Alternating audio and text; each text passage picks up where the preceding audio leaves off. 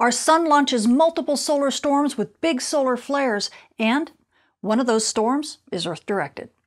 Those stories and more in the news this week.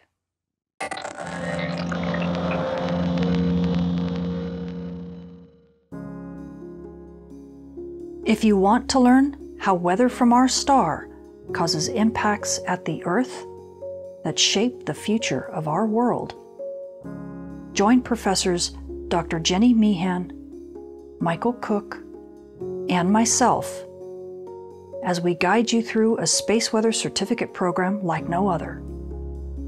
To enroll in the Space Weather and Environment Science program offered at Millersville University, go to millersville.edu/swen.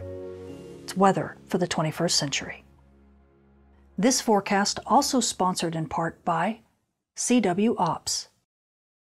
Space weather this week is really beginning to ramp up, and it finally looks like the sun got that solar maximum memo. As we take a look at our Earth facing disk, look at all the activity. We have at least nine active regions on the Earth facing disk, including a whole cluster of them that are just beginning to rotate into Earth view, and you can see how bright the sun looks. In fact, the solar flux just over the last few days has finally crept up past 200 mark, and that is a record for solar cycle 25 and a lot of amateur radio operators are definitely clapping and cheering. But this, along with this solar flux increase, also comes a lot of activity. In fact, back on the 14th, you can see region uh, 3182, wham, that old friend fires off a big solar flare along with a solar storm, and that solar storm is partly Earth directed. We'll talk more about that in a minute. Then, not to be outdone, region 3191 in the east fires off a big solar flare and another solar storm is launched. That one looks like it's going to go north of Earth, but we might get some glancing passage from that. And then, not to be outdone, 3190 joins in the fray and fires off another big solar flare, and that solar storm that along with that is going to go east of Earth. But once again, we're waiting for models to see whether that's going to give us a glancing blow. So there's a ton of activity, and we just are beginning to see some of these regions rotate into view, which means we could have more solar storms as well as big solar flares. Radio blackouts at the R2 level are definitely on the menu. And as old friend region 3182 rotates off of the sun's west limb, we're going to have to be dealing with a higher risk of radiation storms over the next few days. So overall, it is a very active week and all eyes are on the sun.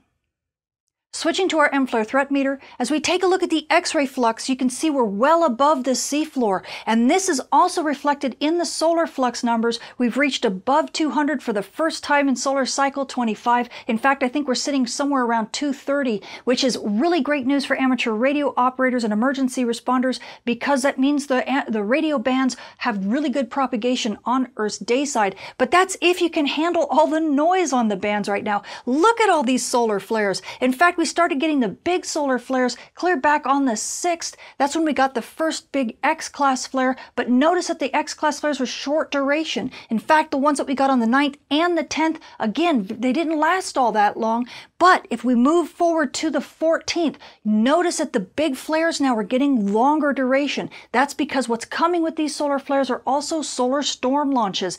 And this is means that we're going to have some Earth-directed solar storms, possibly more than one. So all eyes are going to stay uh, on the sun and expect more uh, radio blackouts that are longer lasting that could cause uh, more impacts on Earth's day side easily throughout the rest of this week. And now taking a closer look at the long duration big solar flares we've had over the past couple days and the impacts to radio communications, we switch back to the 14th and around 2100 hours. That was when the Pacific was in the daylight side and we had actually two flares back to back, an M3.6 and then an M4.6. These were both R1 level radio blackouts, but look at the impact to radio communications on the day side. It just absolutely takes it out and the impacts last for about an hour before things begin to come back. And then not that much later, on early on the 15th, when the daylight side was now covering Australia, you can see wham, right here, we can look at that radio blackout light up. This was an R2 level radio blackout from an M5.6 flare. And again, it really impacts radio communications on Earth's day side and takes about an hour before things begin to come back. So amateur radio operators, this is what you're dealing with on Earth's day side. So if you have issues and you really need to get messages through, well, try the night side. Switching to our solar storm conditions, as you can see over the past week or so, we've been sitting at about unsettled to even active conditions, and this has all been because of some fast solar wind that hasn't been all that impactful, but every now and again we get kind of like a mini solar storm that kind of grazes us to the east or to the west. Nonetheless, it's managed to kind of rattle Earth and keep it a bit on the perturbed side. And then right around the 14th, we got hit by a little bit uh, stronger fast solar wind and yet another glancing blow from a little bit of a stronger uh, uh solar storm, and that's kind of set Earth off. Earth is ready to go. And now, as you can see, we've actually gotten hit by yet another glancing blow starting around the 15th that managed to bump us to storm levels along with some fast solar wind, and that is going to continue. Uh, we've been getting some gorgeous aurora at high latitudes. It might kind of calm down just a little bit, but it's kind of the calm before yet another storm because we have yet another glancing blow and some more fast wind. Now, returning to that solar storm that was launched on the 14th, this is our prediction model, Enlil. This is NOAA's version of the model. The top panel's density, the bottom panel's velocity. You're looking down at the sun from the North Pole with Earth being off to the right. And you can watch that solar storm being launched, and it looks like that solar storm is definitely going to the west of Earth. But right around the 19th, you can see it actually clipping Earth. It's going to be a glancing blow. And that's when the solar storm itself hits. But just prior to that, there's actually kind of an enhancement. And this is due to some fast solar wind that is kind of uh, like a fast solar wind chaser of this storm. So we're actually going to see a bit of an impact starting around the 18th. So aurora photographers, don't wait for the 19th because we could definitely see some impacts and some aurora building on the 18th. And we could actually have a show maybe possibly through the 20th before things calm down. So enjoy that and keep your batteries charged because it could be a lot of fun. So what else does our sun have in store for us this week? Well, this is Stereo A. It's our partially far-sighted monitor. You can see here's Earth, here's the sun, and here's stereo A staring at the sun just a tiny bit from the side. And as we take a look at stereo A's view, you can see region 3182 rotating off of the west limb in stereo's view, and that should kind of orient you. So when you take a look at the east limb, look at all the bright regions and all the activity. Do you see all the solar storm launches? It's unbelievable how much is going on. So that tells you that we've got these big regions in here that are definitely big flare players, and they are going to continue to launch solar storms. Plus, if you take a look in the east limb right on the north, you can see yet one more region that has not quite rotated into Earth view yet, and it looks like it also could be a big solar storm player. So, aurora photographers, get ready because we could definitely have some more activity over the next week or two, and amateur radio operators expect that solar flux to stay well above 200, possibly for two more weeks. Switching to our moon, we are now passing through the third quarter phase on our way to a new moon, and by the 20th, the moon is just going to be a sliver at about 3% illuminated. So, you night sky watchers, if you want to catch those dim objects in the sky, including, I don't know, maybe some aurora, well, now is your perfect chance. Switching to our solar storm conditions and aurora possibilities over the coming week, we have been dealing with some fast solar wind and some minor solar storm glancing blows here and there that have really kind of rattled Earth's magnetic shield.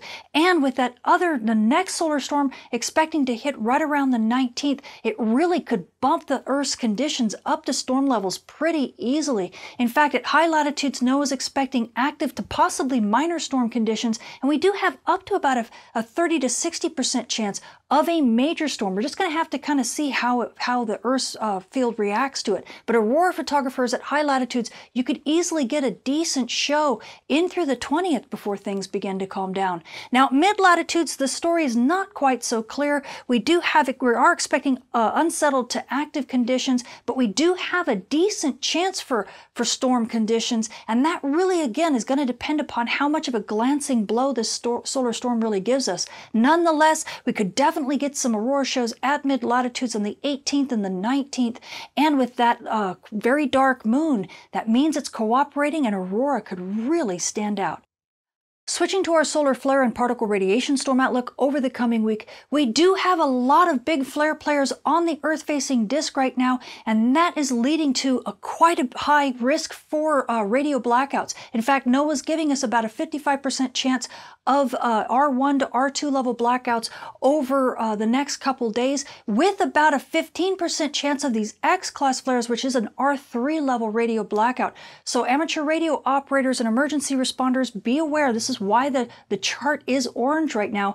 Radio blackouts are just a, a thing that you're going to have to live with on Earth's day side. Now, nice thing is we do have solar flux. It's sitting well into the 200s. This means decent radio propagation on Earth's day side. However, GPS users, you don't like it when the flux gets this high. It does cause issues for you down at low latitudes. So especially be careful in the afternoon and in the post-dusk uh, hours, you could have a lot of issues with GPS reception. Now, also because we do have region 3182 that is rotating to the sun's west limb right now, we have a really elevated chance of getting radiation storms. We're, we're in the green right now, sitting at the D1 level, but we could have a radiation storm here over the next uh, couple days and possibly throughout the rest of this week. So if you're a pilot, definitely pay attention to the uh, ICAO advisories and uh, just be aware that both communications and navigation can be impacted. So the space weather this week is getting very exciting. We have a lot of regions in Earth view that are firing big solar flares. And as of the last uh, 24 to 48 hours, we've been getting long duration solar flares, which means we're also getting big solar storms being launched again. One of those is actually Earth directed, or at least partially Earth directed, and could give us some exciting times with some aurora down to mid latitudes around the 18th and 19th. So aurora photographers, definitely get ready. We could have a decent show. Now, amateur radio operators and emergency responders, while we should celebrate the fact that we're over 200 in the solar flux, you should definitely notice it in the radio bands on Earth's day side, but you should also notice that you're dealing with radio propagation with lots of noise and radio blackouts on Earth's day side. So perhaps nighttime would be a little bit better for radio propagation over the next week and possibly two weeks until these regions kind of calm down and rotate to the sun's far side. And now GPS users, well, this is not the best forecast for you because not only is solar flux up into the 200s, which means you have issues with reception down at low latitudes, especially, especially near dawn and very much near dusk. So be aware that you could have reception issues during those periods. And of course, on Earth's day side, those radio blackouts don't help you very much. And of course, if we get aurora from this solar storm that's going to hit around the 18th and 19th, be sure to stay away from aurora as well. So there's a lot of keep out zones for you. And it's just hang in there. Things will get better, I promise. I'm Tamitha Skov, the Space Weather Woman. Thank you for watching.